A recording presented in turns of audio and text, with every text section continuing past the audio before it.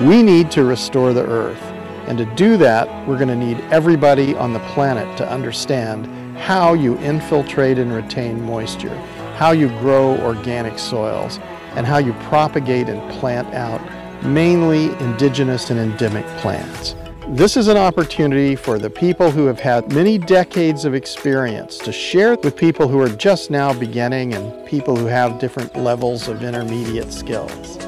Take on this very important role at this particular time in human history.